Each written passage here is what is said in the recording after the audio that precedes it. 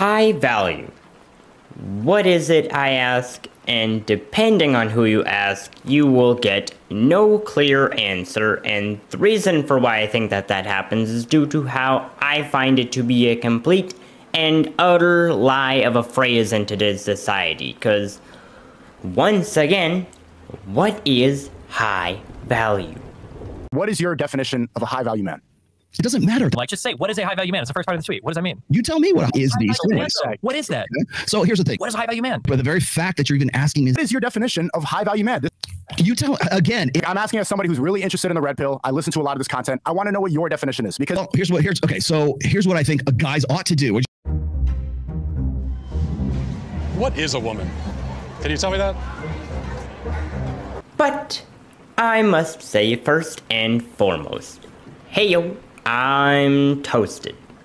Uh, ideas. And here I talk about things that interest me. I like to think about things critically and have my own opinion, because then I'm not a sheep to any specific person or thing. I cover topics from the left to topics from the right, while also not forgetting about the topics in the middle of absolutely nowhere.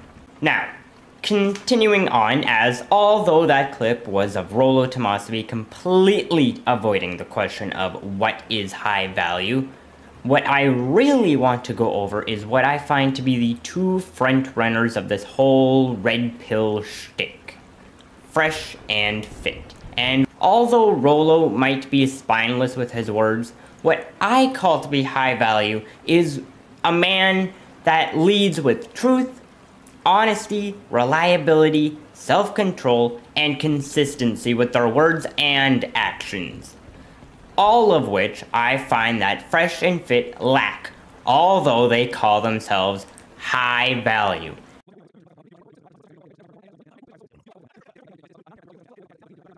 So, just to wrap that up, they said sacrifice, money, fitness, selfish mindset, network, and finally, don't care about what others think about you. And how can you be a strong leader when you don't care about people questioning your position?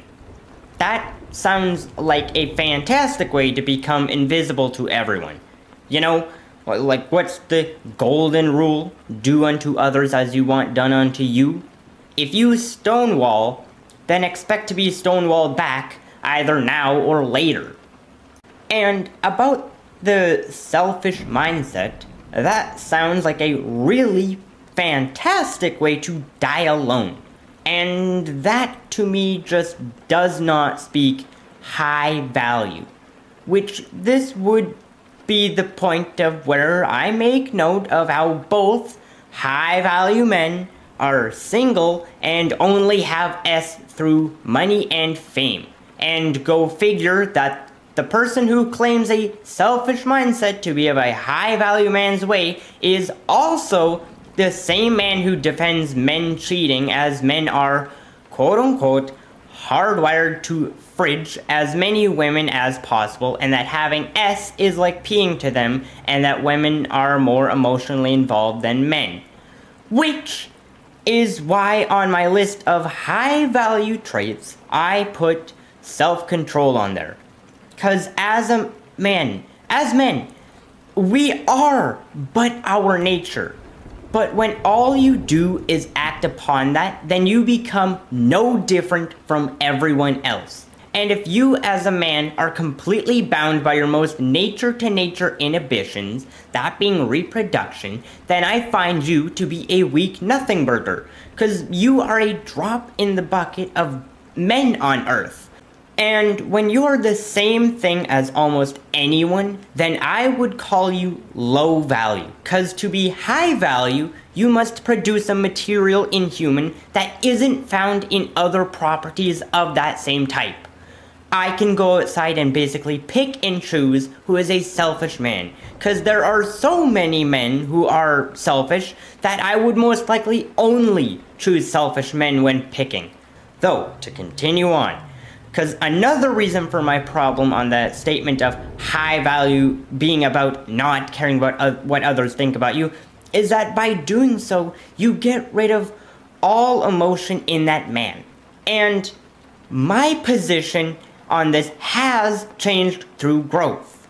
But as I see it now, is that to be a man who doesn't feel emotion is to be on the same wavelength of weakness and gullible.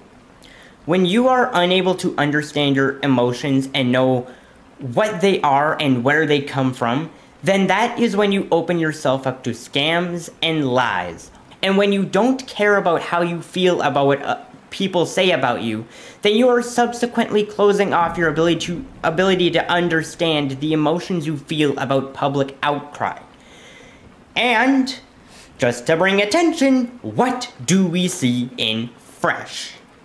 He got a lady who they both claim through and throughout their entire podcast career to be in complete disagreement with I have to be careful what they want me for. That being said, this shorty here, bro. Listen, listen, listen. That shorty there, bro, wants me for me, hundred percent. All right, what you want. You said she was very different from every girl you meet in Miami. When I've heard you speak about every girl in Miami before, you generalized. No, that being said, when I met her, I saw she hadn't been tainted yet. She hadn't been like in certain circles where, like, you know what? Damn, she's gone through the streets. What does it mean Mhm. that she's different and not thinking like a Miami girl? I just pointed you out I know, like, someone. Okay. Like, e- e- explain that because I've heard you say See, I am a very big personality person. So if he came up to me and he just came and was like, hey, let me get your number, that's a no from me.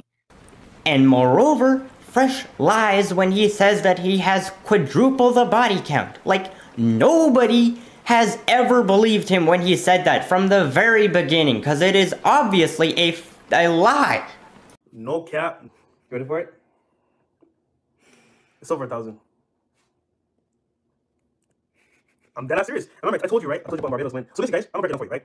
So look right now. So in Barbados, right? I can tell you before. There's a whole culture of women coming from UK, coming from like, you know, uh, Italy. Beta! He's dishonest about where he met her. Like, he goes on a weird rant that about literally nothing in the search for an excuse as to why she's not like other girls kind of shtick, you know? He goes, he does a whole entire circle jerk about trying to find a, an excuse for that. We use trigger sites, right? To hit up girls, and we don't pay a cent, and go with them, we get it for free. So, that being said, she told me, hey, I was on Seeking, and I said, bet. I go in there anyway, talk to chicks. told you she ain't tell you on the yacht, nigga. Nigga, we went on multiple dates after the yacht. She's like, yo, I gotta be honest with you. Right? It, was it a red mm-hmm. flag when you found out she's on seeking arrangements and she decided to come link with you only when you were on the yacht? No, 100% no. Bro, in Miami, almost every girl you see that's, that's good looking, bro, And to top it off, he's clearly got no game in his body whatsoever. Man really walks around with CEO everywhere on him, and then makes vlogs about being in expensive cars with an attractive woman in Miami, while saying that he has game. He said, wait, you know this chick? So he posted this, this girl's profile because you can see who's following somebody they just added from like the following list. I was like, yeah, I know her, bro. I used to like do her back in the day. Walter sounds like an eighth grader who heard his older brother refer to sex as doing someone. To all the lovely women watching this, how many of you have already realized that this guy is a complete fabrication of a ladies' man? What's more pathetic is this guy and his partner Myron Gaines are seen as the voice of men's improvement on YouTube. And so, what do I bring back up? My own definition of a high value man. And my reason for doing so is because if every man walked around with my definition, then crap like what Fresh does would not happen. If Fresh had self control, then he would know that she looks at him purely for money and wouldn't be in that situation because it does not benefit him mentally. And if he had honesty, then he would be able to speak with his chest out rather than be looked down upon for doing exactly what they talk against. If he lived in truth, then he would understand where he stands in a place like Miami and then go find a woman without Miami ideals.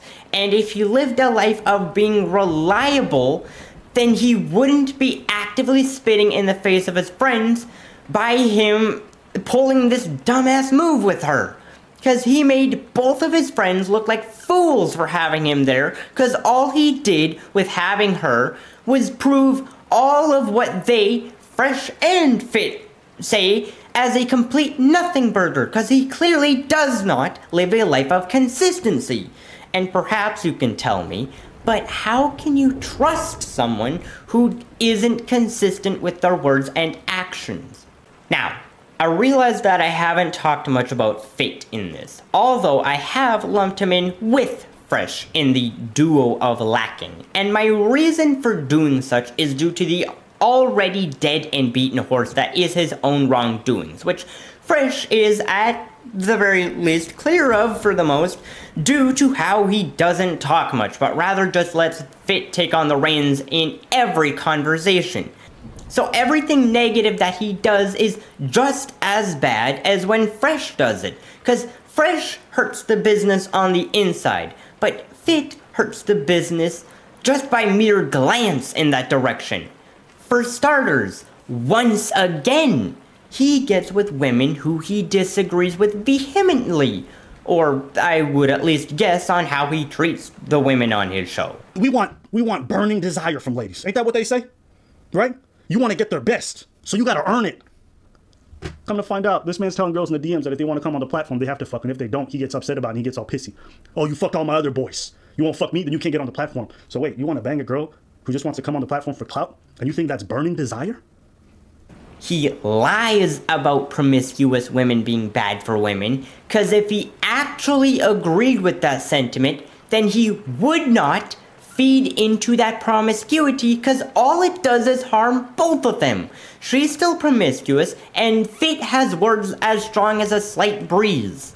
Even more, what I find really distasteful is you come to find out that Myron Gaines himself, right, the so-called pickup artist, the master, has his own seeking arrangements account, his own profile. All right, this is on the web. You can find it. This man's out here talking about don't pay for box, don't pay for box. He's on a website for sugar daddies and sugar babies. Okay, all right. You want to be a giant hypocrite? Do your thing. He is dishonest when it comes to beef with other people because all he does is fight the physical nature of his enemies rather than the actual ideals spread by them. Do it. Let's do it. Let's do it. Like actual fight. Mm-hmm. I would no. Let's put some gloves That's on. what I'm saying. Yeah. We put some gloves on. We box it out. You said you've been nice in the gym and you want to box me out. Let's go. But is this a two on two or is this mm. just you taking It's on me versus one. Then I take the other. That's what I said. Wow. I was livid at that Do you stand by those comments today? I said what I said. And on the same wavelength of Fresh being bad for business, Fresh is just as bad for business because he has no clue when it comes to keeping a business alive in today's timeline. Because from his actions in the past couple years, he has done nothing but sabotage any re- reputation that they once held among a growing group of boys. They have been racist, You guys have not proved nothing, and you fucking nigger millionaires now invested back in the business, get called out by a fucking racist KKK member out of Tennessee. sexist, You warn guys about girls like me. So now that we're face to face, what kind of girl am I? You're not special. You're like other girls. That's I'm not special. like so, you're like other women that are So like, what makes you special then? And been with people who are anti Semitic, What is Nick Fuentes coming on talking about Jews saying the N word a bunch of times and you know chopping it up with a white supremacist have to do with saving men? questionably pedophilic, 16 year old minors are more attractive than adult women. abusive, What I will do, instead of actually getting rid of her, I'll keep her, I'll keep fucking her, but I'll fuck her different. And I'm going to change on such a small level that will hurt her more than even losing you. power hungry filth. Will they divorce, or do you want them to keep going in the relationship? Keep going. You can't divorce. That's not a real thing. Even though it might be like physically Yeah, abusive. You gotta endure. People are too. You want to stick in You the relationship? people are just- I mean, look, people I'm gonna be nowadays are are just For anyone that might be in that situation, what would you recommend? Okay, Anything endure. specific? Well, at least I've never been arrested for glassing a bitch. And he's like, "Yo, why are you so sensitive? You, you, are you gonna leave next?" So that's the, the MLD saying, like, "Why are you so sensitive? Why are you bringing that up?" And the guy says, "I'm not sensitive, just giving back some." And then MLD says, "You act like that's the last bitch I'll smite on this planet." Well, do you think you have healthy habits? Yeah. Spineless, Let's fucking do it. Hey guys, when we speak, everyone raise No, your hand. no, raise no, your no, hand. no, no, no. Raise your hand. No, no, no, no, no, no, So we no, take turns. No, no, no, Nick, no, no, no, not you. and untrustworthy men. What is your definition of a high value man? It doesn't matter. Like, just say, what is a high value man? It's the first part of the tweet. What does that mean? You tell me what a high value man is. The yeah, fastest way to becoming a high value man is these What things. is that? What is that? So here's the thing. What is a high value man? But the very fact that you're even asking this in the first place is the actual point of the fucking tweet. What is your definition of high value man? This is the number one talked about topic on all of these shows. So I want to get a clear definition from you. What is it? You tell again, it depends on the person. Look, I'm asking as somebody who's really interested in the red pill. I listen to a lot of this content. I want to know what your definition is because if you have a definition that's completely off of what I think it is, then I guess I'm not red pill. Well, here's what here's okay. So here's what I think guys ought to do. And so, in the search for being high value, which, as put by Fit's seeking account, is being tall, having money, and abs, he, in my eyes, could be no closer to the terms low and non existent in the place of a leader. And the same goes for, for Tweedledee Dumb Fresh. They both lie, they're both dishonest, and they both are, are an ox gilded in gold. A complete and utter false set of leaders, and they're such false leaders that they are even having issues of leading themselves to continued greatness. But I think that that's just about enough for this idea. Uh, tell me what your thoughts are down below. If you disagree, let me know why. And in the same, and the same thing goes for agreement, because all voices are welcome. Just be safe with your words, because we are still on YouTube. But while you're down there, please consider hitting that subscribe button to become a fellow bread bag, and also hit that like button so that people who may not have seen this video can see this video, and so that they might hit that subscribe button to become a to join the bread box.